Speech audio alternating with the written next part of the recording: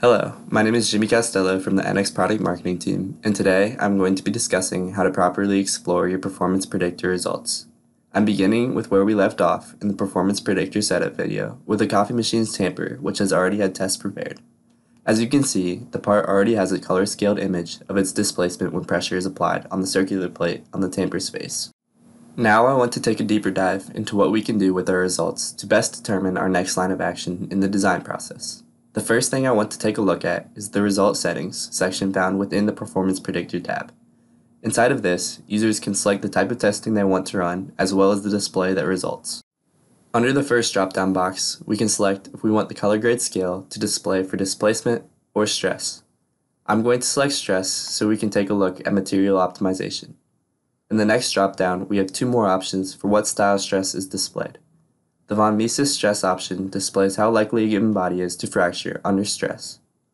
The last thing I want to select before running our first test with the new result settings is under color style. When performing von Mises stress tests, we have the option to easily change our material to see what is most optimal for our design.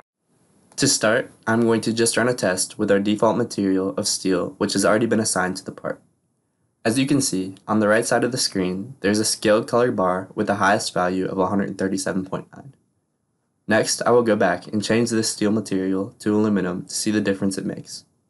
The first noticeable difference is the overwhelming blue color. Although the majority of the part seems unaffected by the stress, when looking at its color scheme, if you go to the right bar scale again, you can find that the maximum stress is much higher for the part. Now that we've explored stress settings, let's take a quick look at what options we have when viewing displacement. The first difference we find is the number of component options. There are options for each vector component, and there is additionally an option to highlight the extremes of all three vectors. Next, for display options, users can choose to have a smooth or banded color gradient on their body. And finally, the last display option allows for the most extreme values to be displayed. For this context, I'm going to just use our displacement in the y direction on a smooth contour at the default color scheme. The next thing I want to look at is measure result. This is a tool which can help determine measurement values which aren't immediately displayed after testing is run. Once again, there are options for displacement and stress, as well as their respective component options. Additionally, there is also an option to determine the maximum or minimum value for this measurement. With all of these options now selected, I'm going to hit OK so we can see the maximum displacement of the front plate outside of the circle. The last resource I want to look at to help us review our test results is the animation tool. Using this tool, a short video is produced which illustrates the changes in the part as force is applied. Users can export this video file, which can be later used in presentations or demonstrations regarding results.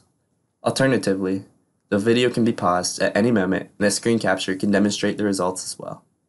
The animation tool can help give a strong understanding of how the product will perform under varying force and pressure loads. In conclusion, in this video, we looked into the best ways to review your performance predictor results. We began by exploring result settings and looked at the wide range of capabilities it provides. After that, we explored the measure result tool and how it can aid in determining values that were not automatically displayed.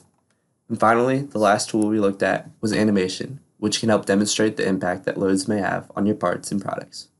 I would like to thank you for your time and attention.